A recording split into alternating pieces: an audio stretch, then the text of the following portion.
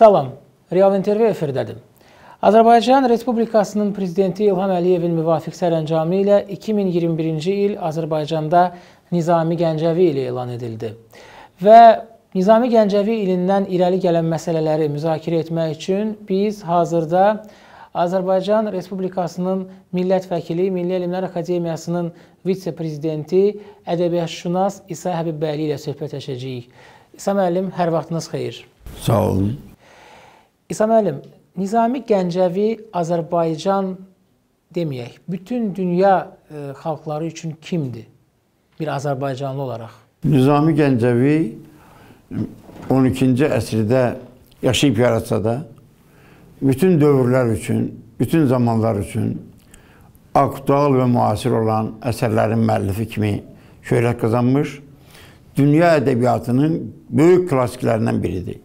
Nizami Gəncəvini daha əyani təsəvvür etmək üçün bunu demək, belə bir müqayisəni tamaşaçıların diqqətini çatmaq istəyirəm ki, Aristotel, Yunan alimi Aristotel, dünya elmi və fəlsəfəsi üçün kimdirsə, Shakespeare bir dramaturg kimi dünyada hansı yeri və mövqeyi tutursa, Nizami Gəncəvi də poeziyada, dünya ədəbiyyatında həmin möhtəşəm zirvəni fəth etmişdir. Mən belə Nizami Gəncəvinin bilirsiniz ki, ən şah əsərlərindən biri də İskəndərnamədir, məşhur İskəndərin poemasıdır. Mən hesab edirəm ki, Nizami Gəncəvi dünya ədəbiyyatının İskən Makedoniya İskəndəridir. Makedoniya İskəndər öz qılıncı ilə, hərbi şücaəti ilə nə qədər dünya ölkələrini fəth edə bilmişsə, Nizami də sənətinin qüdrəti ilə, qələmi ilə, sözünün hikməti ilə dünyanı fəth etmiş çox böyük sənətkardır. Təəssüf ki, Nizamiyə qiymət verənlər daha çox onu şərq kontekstində görkəmli e, adamlardan biri hesab edirlər. Görkəmli böyük şəxsiyyətlərin biri hesab edirlər. Nizami isə məncə o özündən sonraki böyük müasiri İmadəddin Nəsimin dediyi kimi e, dövrə məkana sığmayan dünyanın çox qüdrətli böyük sənətkarlarından biridir və bu dünya alimləri tərəfindən də etiraf olunur. İsa müəllim, Bax siz Nəsiminin adını vurğuladınız. Ümumiyyətlə Azərbaycanda 2019-cu ildə Nəsimi ili elan edilmişdi və biz sizlə görüşəndə mütəmadi olaraq həmin ildə keçirilən tədbirlərdən danışırdıq. Yəni artıq bizdə belə bir təcrübə, ənənə var. Ümumiyyətlə Nizami Gəncəvi ili konkret il ərzində hansı tədbirlərin keçirilməsini zəruri hesab edəcək? Sırf ədəbiyyatşünaslıq və elm sahəsində? Sualınıza cavab verməzdən əvvəl onu qeyd etmək özümü borc verirəm ki, Azərbaycan Respublikasının prezidenti hörmətli möhtərəm İlham Əliyevin sərəncamları ilə Azərbaycanda ə, milli tariximizin, ə, soy kökümüzün, ə, tarixi, ədəbi, mədəni ənənələrimizin, böyük şəxsiyyətlərimizin yenidən öyrənilməsinə və dəyərləndirilməsinə xüsusi diqqət yetirilir. Və mən bu sırada Bakıda Dədə Qorqud Parkının yaradılmasını, Dədə Qorqud heykəlinin ucaldılmasını, eyni zamanda Nəsimi ilinin çox böyük uğurla keçirilməsini və böyük töhfələr verilməsini ayrıca qeyd edilməyi vacib sayıram. Məncə, Cənab Prezidentin 5 yanvar 2021-ci tarixdə imzaladığı 2021-ci ilin Azərbaycanda Nizami Gəncəvi ili elan olması haqqındakı e, sərəncamı da böyük, mühüm tarixi, siyasi əhəmiyyətə malik olan bir sənəddir. Və bu sərəncam Nizami kimi dünya şöhrət qazanmış böyük sənətkara məhz indi 21-ci əsrin indiki reallıqlarının gözü ilə Azərbaycanda dövlət müstəqilliyi ideallarının işığında Azərbaycançılıq müstəvisində yenidən qayıdış üçün böyük imkanlar açır. Bu, bu sərəncam əlbəttə ki, Nizaminin sənətinə, irsinə, hörmət və ehtiramı dövlət səviyyəsində ifadə eləməyinə yanaşı, həm də diqqəti alimlərin, ziyalıların, yaradıcı şəxsiyyətlərin diqqətini bir daha Nizami kimi möhtəşəm bir sənətkarın xəzinəsinə yönəldir. Burasını da etiraf eləmək lazımdır ki, Nizami Gəncəvinin irsi haqqında dünyanın müxtəlif ölkələrində alimlər fikirlər desə də, bəzi əsərlər yaransa da, Nizami Gəncəvini dünyada Azərbaycan şairi kimi yenidən tanıtmağa ehtiyac Bu vardır. çox vacib məqamdır. Mən Sən hesab müəllim. eləyirəm ki, e, ölkəmizin prezidenti cənab İlham Əliyevin Nizami Gəncəvi ilə elan elədiyi, elə, eləmək istiqamətində atdığı addım və bu tarixi sərəncam bəs Nizamini bu gün Azərbaycan xalqına daha dərindən mənimsətməkdən, yeni nəsilləri Nizami ruhunda tərbiyə eləməkdən ibarətdirsə, ona bərabər daha mühüm vəzifədə Nizamini bütün dünyada Azərbaycan şairi kimi yenidən tanıtmaqdan, olduğu kimi tanıtmaqdan, bütün parlaqlığı ilə təqdim etməkdən ibarətdir. Bu istiqamətdə əlbəttə ki, Azərbaycan alimlərinin, ədəbiyyatçılarının, e, digər elm sahəsində çalışan alimlərin üzərinə, yazıçılarımızın, musiqiçilərimizin üzərinə böyük vəzifələr düşür. Bu prezidentimizin sərəncamı Nizamində, Nizamiyə e, belə kompleks şəkildə yenidən qayıdışın müstəqil illərindəki möhtəşəm başlanğıcıdır və buradakı olan istiqamətlərin hər biri üzrə həm Azərbaycan Milli Elm Məhkəməsində, həm Yazıçılar İttifaqında, şübhəsiz ki, Mədəniyyət Nazirliyində, Təhsil Nazirliyində il ərzində e, böyük tədbirlər keçiriləcəkdir. Bunların içərisində əlbəttə ki, tədqiqatlar xüsusi yer tutmalıdır. E, biz ilk növbədə e, elə mövzular var ki, onlar yalnız müstəqillik illərində, hətta müstəqilliyin indiki inkişaf mərhələsində Nizaminin əsərləri əsasında yazıla bilərdi. Məsələn, Nizami yaradıcılığında Azərbaycançılıq. Çox mühüm məsələlərdən biridir. Nizamini dünya ilə Azərbaycan şairi göstərmək kimi təqdim etməkdən ötürü ilk növbədə Nizamin yaradıcılığındakı Azərbaycançılıq ideallarını tapıb ortaya qoymaq, onları elmi təhlilin süzgəcinə keçmək, onları mükəmməl səviyyədə dünya xalqlarına çatdırmaq lazımdır. Nizaminin əsərlərində isə belə e, məsələlər çoxdur. E, demək, Nizami öz əsərlərində Gəncə şəhərinin birinci adını çəkmişdir. Nizami əsərlərində Kəpəz dağını vəsf eləyib. Nizaminin əsərlərində Bərdənin mükəmməl tərifi vardır. Gülü ilə, çiçəyi ilə, tarixi ilə, bütün gözəlliyi ilə demək, Nizami Bərdəni vəsf eləyir. Mən hesab edirəm ki, Nizaminin Bərdəni vəsf elədiyi bir şeir Nizaminin ümumiyyətlə Azərbaycan haqqında olan şeirdir. Çünki o şeirdə Azərbaycan təbiətinin, coğrafiyasının, Azərbaycanın milli mənəvi ruhunun bütün gözəllikləri öz əksini tapmışdır. Oradan Bərdəni sözün, Bərdə sözünün çıxıb, ora Azərbaycan sözünü yazsaq, şeir qətiyyən qüvvəsini itirmir. Əksinə daha geniş miqyasda Nizaminin fikirlərini çatdırmağa xidmət eləyir. Nizami Gəncəvi yaradıcının Dərbənd haqqında da fikirlər vardır. Bu yaxınlarda bir nəfərin ki, Xəmsədə Naxçıvan izləri. Ümumiyyətlə Nizaminin düşüncəsi türk düşüncəsidir. Nizami düzdür, doğrudur. Dövrün ədəbi ənənələrinə uyğun olaraq fars dilində yazıb yaratmışdır.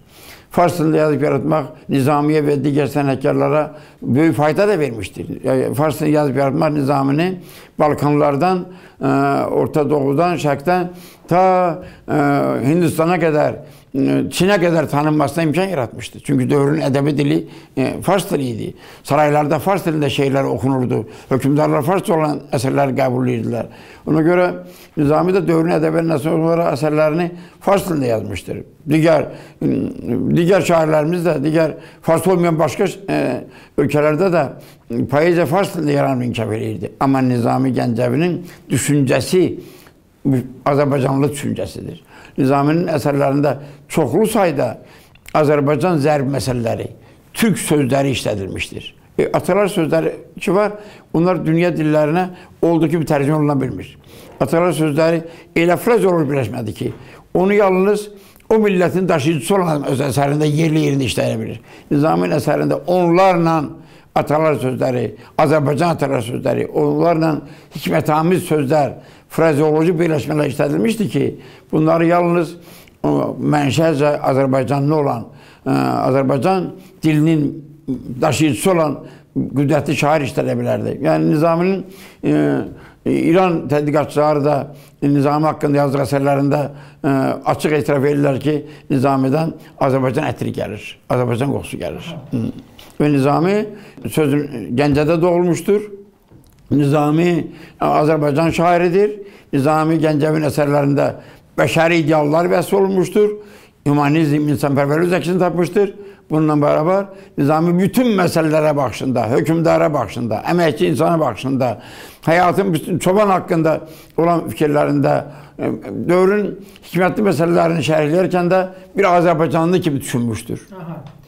İsa müəllim, e, O təpədən dırnağa Azərbaycan milli ruhunun ifadəsi olan qüdrətli söz sənətkarıdır. İsa müəllim, ümumiyyətlə e, baxın bu il ərzindəki tədbirlər mən bayaq da qeyd elədim keçiriləcək. Mən burada müəyyən kitablar görürəm. Bunlar təbii ki, bu dövrə qədər həyata keçirilmiş işlərin bir qismidir. Bəli.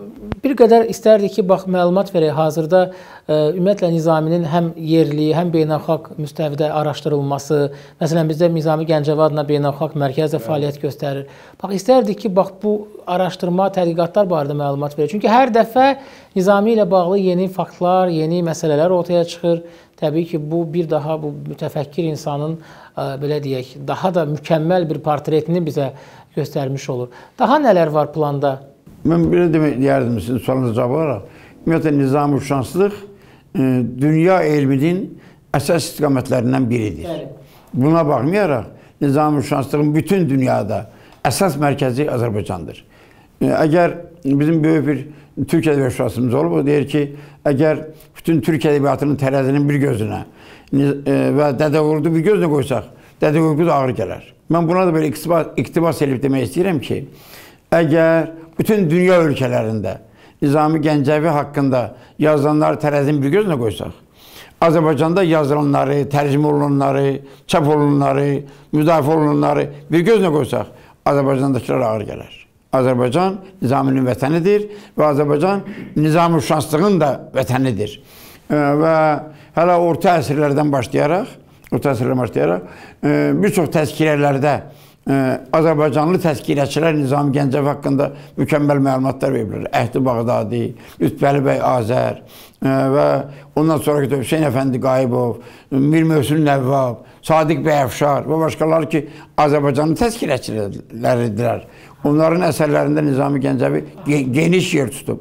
Ondan sonraki dövrdə mən hesab edirəm ki, demək Nizami Gəncəvinin öyrənilməsində, Ersenin tədqiqində Ulu Öndər Heydərevin adı ilə bağlı olan epoxa ayrıca qeyd olunmalıdır. 1979-cu ildə o məşhur sərəncam oldu. Ondan sonra Nizami Gəncəvi ilə bağlı silsilə tədbirlər keçirildi Esterin məkanında. Ulu Öndər görkəmli dövlət xadimi Heydər Əliyevin 1979-cu ildə qəbul etdiyi qərardan sonra Nizami Gəncəvin əsərləri yenidən sətri tərcüməsi hazırlandı. Fars dilinə, Azərbaycan dilinə sətri tərcümələri əsas hazırlandı. Bu sətri tərcümələr əsasında Nizaminin orijinalına daha yaxın olan poetik tərcümələri hazırlandı və kitab halında çap olundu.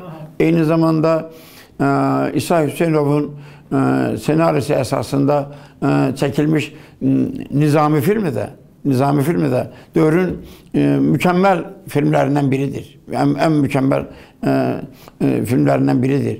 Və e, hesab edirəm ki, o dövrlərdə e, o dövrlərdə e, Azərbaycanda e, demək Qara Qarayevin e, 7 gözəl baleti meydana çıxdı. E, başqa e, simfonik poemalar yazıldı və e, demək bununla bərabər 1981-ci ildə Nizami Gəncəvinin 841 illik yubileyi keçmiş ittifaq miqyasına qeyd olundu. Ulu Öndər sonralar öz çıxışlarına qeyd edirdi ki, Nizami Gəncəvinin 840 illik yubileyinin qeyd olunması haqqında ə, e, Sovet İttifaqının mərkəzində rəhbərlərinə ə, e, danışarkən, onlardan onlarla məsələn razılaşdırarkən çoxları buna ə, e, bir mənalı yanaşmırdılar. Çünki 840 yubiley rəqəmi deyildir. Ə, yuvarlaq yubiley rəqəmi deyildir. Amma görkəmli dövlət xadimi Ulu Öndər Heydər Əliyev Sovet rəhbərlərinə bəyan etmişdi ki, Nizami Gəncəvi kimi dünya miqyaslı böyük sənətkarlar elə bir nüfuza malikdirlər ki, onların nəinki yuvarlaq rəqəmlərlə ifadə olunan il dönümlərini, onların hər ili yubiley kimi qeyd etmək yerinə düşər. Vacibdir və lazımdır. Bugünkü inkişafımız üçün lazımdır.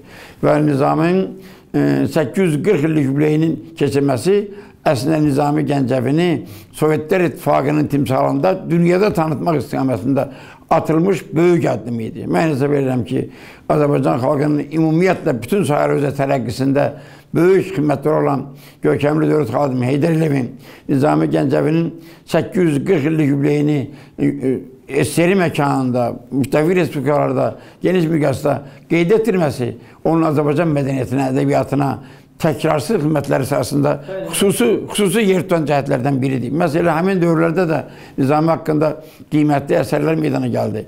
Nizami şünanslar nəsli, yeni nəsil formalaşdı. Onların əsası qoyuldu. Azərbaycan prezidenti e, cənab İlham Əliyevin e, atdığı addımlar, həyata keçirdiyi məqsəd yönlü siyasət nəsəndə Azərbaycanda Nizami Gəncəvi beynəlxalq mərkəzi çox səmərəli şəkildə fəaliyyət göstərir. Bir, bəli, və həmin e, beynəlxalq mərkəzin bir böyük əhəmiyyəti odur ki, o mərkəzin üzvləri dünyada baş nazir olmuş, prezident olmuş, yüksək vəzifələr danışmış görkəmli alimlər, görkəmli şəxsiyyətlərdir ki, onlar nizamı haqqında həqiqətləri dünyada yayarkən bir səlahiyyətli adamların dilindən eşidilən sözlər kimi onlar gerçəklik şəklində qəbul olunur və bu nizami beynəlxalq mərkəzi çox səmərəli fəaliyyət göstərir. Nəgiz xanım Paşayevayın rəhbərliyi ilə Nizami Gəncəvi Beynəlxalq Elmi Mərkəzi də bu istiqamətdə böyük addımlar atır. Demək, keçən il onlar Bertelsin Nizami Gəncəvi haqqındakı məşhur monoqrafiyasını ingiliscə müqəddimələrlə, şərhlərlə bir yerdə çap edib dünyaya yaydılar. Azərbaycanda da Azərbaycan Milli Elmlər Akademiyasında bu istiqamətdə geniş aparılır. Məlumat akademiyanın demək olar ki, əksər institutlarında bu istiqamətdə əsərlər yazılıb çap olunub. Demək, Əli İzmallar İnstitutundan Teymur Kərim, akademik Teymur Kərimli Nizami və Tarix mövzusunda monoqrafiyası ilə tanınır. Eyni zamanda orada Əziz Ağa Nəcəfzadə Nizami Gəncəvinin Xosrov və Şirinin yeni elmi tənqidi mətnini hazırlayır. Bu da mən görürəm Xosrov və Şirin nəşr olunur. Biz, bəli. biz akademiya e, elm məhkəməsi Nizami Gəncəvinin e, demək e, xəmsəsinə daxil olan poemaları yenidən nəşr eləyir. Tamaşaçılara məlumat vermək istəyirəm ki, Şirin burada var. Və ki artıq Sirlər Xəzinəsi Xosrov Şirin Leyli Məcnun çap olunub. Prezident sərəncamının işığında biz, e, demək biz eyni zamanda 7 gözəl və 7 gözəl və İskəndər məsələlərini də bu il nəşrini başa çatdıracağıq. Məlumat üçün deyim ki, indiyə qədər Nizami Gəncəvin əsərləri e, daha çox şərq miniatürləri əsasında çap olunmuşdu. İlk dəfədir ki, Azərbaycan Milli Elm Məhkəməsinin sifarişi ilə Akademiyanın əməkdaşı, əməkdar rəssam, əməkdar mədəniyyətçisi Fəxrəddin Əli Nizami Gəncəvin əsərlərinə müasir miniatürlər çəkmişdir. Və bu 5 cildin 5-i də Fəxrəddin Əlinin e, çəkdiyi həmin miniatürlərlə çap olunur. Bir maraqlı şey də demək istəyirəm. E, bizim əməkdaşlarımızdan biri Siracəddin Hacı adlı e, filoloq elmləri namizədi, o dosent olan bir əməkdaşımız Sirlər Xəzinəsi əsəri haqqında 10 cilddə əsər yazmışdır. Bir əsər haqqında. Elmi araşdırma. 10 cilddə, artıq 10 cildi tamamlamışdır. Akademiyanın Nizami Gəncəvad Ədəbiyyat İnstitutunda Nizami Şanslıq şöbəsi yenidən bərpa olmuşdur. Akademiyanın müxbir üzvü demək Müşabə xanım arasının rəhbərliyi elədiyi həmin Nizami Şanslıq şöbəsi şöbəsində Nizami Gəncəvinin həyat yaradıcılığı yenidən ə, orijinal qaynaqlara, fars dilli, ərəb dilli mənbələrə, mətnlərə, əl yazmalarına istinad edilərək yenidən yazılır. Əslində bu elmi tərcüməyə haldır. Bizdə bizdə hələ ki yazıçılarımızın çoxsunun elmi tərcüməli yazılmayıb. 3 ildir ki, onlar bunun üzərində işləyirlər və artıq mən deyə bilərəm ki, o iş tamamlanıb. Bu yubiley Nizami Gəncəvi ilində, bu yubiley ilində həmin əsəri biz oxuculara təqdim edə biləcəyik. Və İsa müəllim, son olaraq istərdim ki, e, bax bu eyni zamanda, çərçivəsində, bəli, buyurun. Eyni zamanda ə, e, akademiyada Nizami Gəncəvinin ə, e, əsərlərinin akademik nəşrinin hazırlanması planlaşdırılır. Əlbəttə bu 1 il, ən azı 5 illik layihədir. Bəli. Amma biz tədbir planında Nizami Gəncəvinin 5 e, akademik nəşrinin də akademiyanın digər institutlarının e, mütəxəssislərini cəlb etməklə Əlizman İnstitutunun bazasında 5 cildi akademik nəşrini elmi tənqidi mətnlərlə bir dron nəşrini hazırlamaq istəyirik. Vaxtilə tanınmış alim Tahir Məhərrəmov 7 gözəl əsərinin elmi tənqidi mətnini hazırlayıb. Və biz onu da əsas götürərək yenidən Nizami Gəncəvinin ilk dəfə olaraq həmsənin tam halda akademik nəşrinin 5 il müddətli meydana qoymaq istəyirik. Bununla bərabər e, Nizami Ensiklopediyası hazırlamağı Nizami Gəncəvad Ədəbiyyat İnstitutunun Nizami Şünaslıq şöbəsi e, öz öhdəsi götürmüşdür. Artıq ilkin o sözlük hazırlanma prosesini e, yaşanmışdır. Amma bu sərəncamın işığında o məsələ yenidən qayıdıb, ölkə alimlərini cəlb eləməklə bu istiqamətdə işləri davam etdirəcəyik. Və bizim alimlərimiz e, e, demək eyni zamanda bu müstəqil illərində yalnız indi yaza bilən, bayaq dediyim kimi Nizami Gəncəvinin dövlətçi idealları və müasir dövr, Nizami yaradıcılığında Azərbaycançılıq, Nizami və Azərbaycan renesansı və e, Nizaminin humanist ideyaları, e, multikultural düşüncələri və müasir dövr kimi məsələlərə yenidən qayıtmaq fikrindəyik. Bunlar bizim akademiyada Nizami ilində təşkil edəcəyimiz beynəlxalq konfranslarda Yəni onu sualı verəcəydim. Yəni olacaq konfranslar. Beynəlxalq konfranslarda onlayn da şəkildə olsa və yaxud da reallıq nəyə imkan versə, yəni, ən hesab edirəm ki, Nizami ilində ölkənin yəni, ən möhtəşəm konfranslarından biri e, Azərbaycanda akademiyada keçiriləcəkdir. Burada təkcə ədəbiyyatçı alimlər yox, filosoflar da, hətta riyaziyyatçılar da, astronomlar da, çünki Nizaminin astronomik görüşləri də vardır. Nizaminin riyaziyyat baxışları vardır. Nizami Gəncəvinin hüquqi görüşləri vardır. Edirəm Nizami öz bir akademiyadır. Aha, Akademiyada hansı elmlər öyrənilirsə, hamısına aid Nizaminin mötəbər sözləri, mükəmməl fikirləri, bu gün də aktual olan nəzəriyyələri, baxışları və mülahizələri vardır. Bunları bu şəkildə nizamını bu möhtəşəmlikdə yenidən öyrənmək, əvvəl öz xalqımıza, sonra isə dünya tanıtmaq borcumuzdur. Biz eyni zamanda kiçik həcmdə dünya dillərində kitablar hazırlamaq istəyirik. Onu dünyada nizamını təbliğ etmək üçün yığcam həcmə malik olan kiçik həcmli broşurların böyük qiyməti vardır. Bu istiqamətdə də e, iş başlanmışdır. Nizami ilə bu işə böyük təkan verir. İşimizi bu istiqamətdə biz davam etdirəcəyik. Nizami deyirdi ki, çok iti zekalar, yatan oldular. Axırı saksı qapsasın oldular.